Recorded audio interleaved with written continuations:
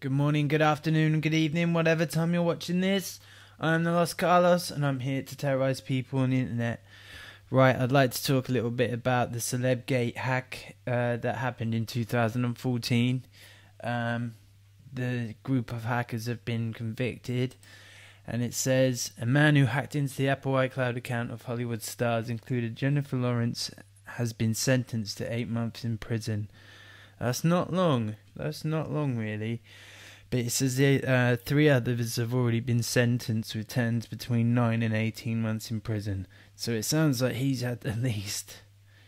But um, it said how he done it. He admitted to accessing usernames and passwords by sending out emails which he posed as a member of Apple's security team. They have to be idiots to have fallen for that. That is just that is unbelievable. They deserve to be hacked. anyway. Right. Anyway, much love, and I hope you have a good day.